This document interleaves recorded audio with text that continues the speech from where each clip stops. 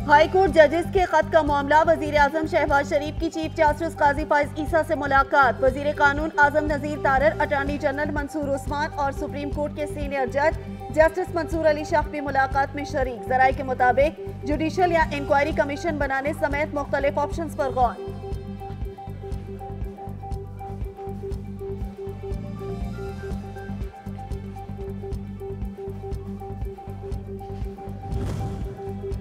अदलिया में मुबैना मुदाखलत पर इस्लामाबाद हाई कोर्ट के जजेस के खत का मामला। सुप्रीम कोर्ट का फुल कोर्ट इजलास आज दोबारा मुतव खत की कानूनी और आईनी हैसियत पर गौर होगा।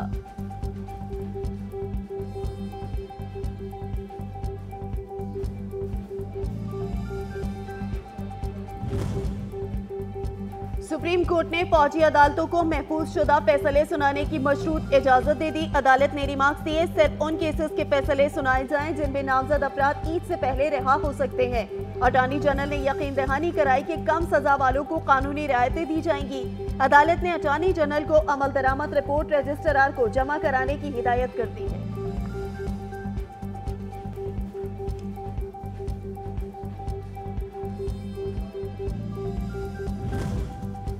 सुप्रीम कोर्ट 9 मई को हसास इदारे के दफ्तर पर हमले के मुलजमान की जमानत का तहरीरी फैसला जारी। मुलजमान पर इल्ज़ाम अमूमी नोयत के हैं। बाद नज़र में ऐसे शवाहिद नहीं कि मुलजमान को गैर मुना मुद्दत तक तहवील में रखा जा सके। मुलजमान किसी और मुकदमे में मतलूब नहीं रहा तो उसको रिहा किया जाए। सुप्रीम कोर्ट का हुक्मनामा।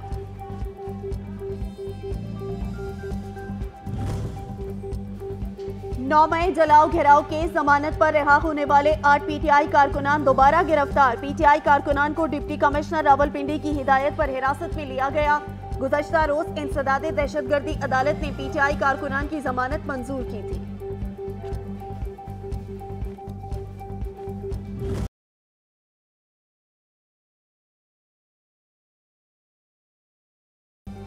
हुकूमत ने आवाम पर बिजलियाँ गिरा दी। बिजली एक माह के लिए पाँच रुपए फ़ी यूनिट महँगी कर दी गई। बिजली कीमतों में इजाफा फरवरी की माहाना फ्यूल एडजस्टमेंट की मद में किया गया।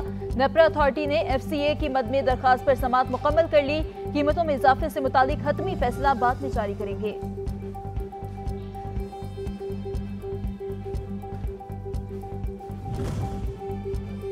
तवानाई बहरान के हल के लिए पाकिस्तान की मदद तरजीह है। अमरीकी महकमा खारजा मैथ्यू मलर ने कहा, अमरीकी मनसूबों से पाकिस्तानियों को बिजली फराहम की जा रही है। अमरीका ने पाकिस्तान में चार हज़ार मेगावाट तोानाई की मदद की है। स्मार्ट ज़रात और तोानाई के मनसूबों पर पाकिस्तान से मिलकर काम कर रहे हैं।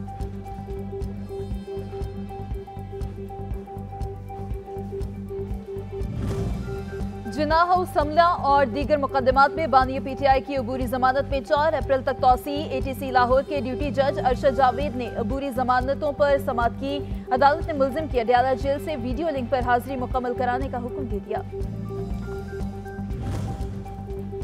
सबक वज़ीर कानून बाबर आवान का नाम ईसीएल से खारिज। सहाफियों समेत मजीद चौबीस नाम डालने की मंजूरी। विफाकी काबीना ने जेली कमेटी बराए ईसीएल की सिफारशात की रोशनी में मंजूरी दी है।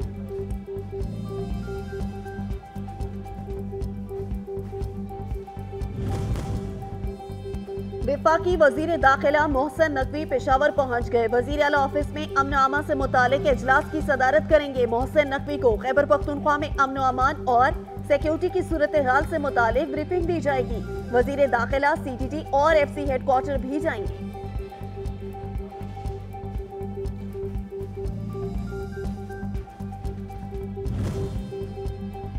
वजी अला मरियम नवाज़ ने पंजाब नहरी खाले पक्के करने की मंजूरी दे दी। पहले मरहले में 10 अरब की लागत से 1200 खाले पक्के होंगे। वजी अला मरियम नवाज़ की जेर सदारत खसूसी इजलास, काश्तकारों को 60 फ़ीसद सब्सिडी पर चीन इकसाम की ज़रिए मशीनरी देने का असूली फैसला। काश्तकारों को एक हज़ार लेजर लेवलर अगले छह माह में दिए जाएँगे।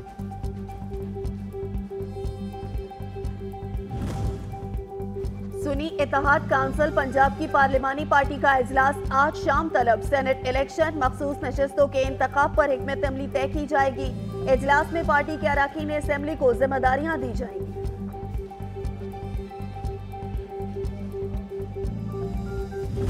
वजी अला खैबर पख्तूनख्वा ने सूबाई काबीना का अहम इजलास आज तल कर लिया। अमनो अमान और सूबे के मौसी सूरत हाल पर बातचीत होगी।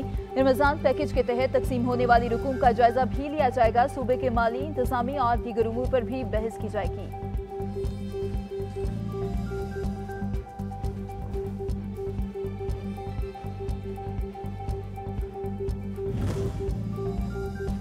हुकूमत ने आटा बैरून मुल्क बरामद करने की मशरूत इजाज़त दे दी। वजारत तजारत ने नोटिफिकेशन जारी कर दिया। नोटिफिकेशन के मुताबिक दरामदी गंदम से तैयार आटा बरामद करने की इजाज़त होगी और सिर्फ़ बरामदी मकासद के लिए दरामदी गंदुम से तैयार आटा बरामद हो सकेगा।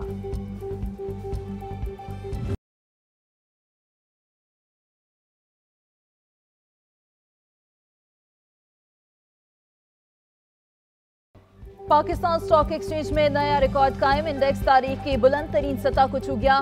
कारोबार में ज़बरदस्त तेज़ी। 100 इंडेक्स में पाँच सौ चौरानवे पॉइंट्स का इजाफा। पाकिस्तान स्टॉक मार्केट सतासठ हज़ार एक सौ बयालीस की सतह पर बंद।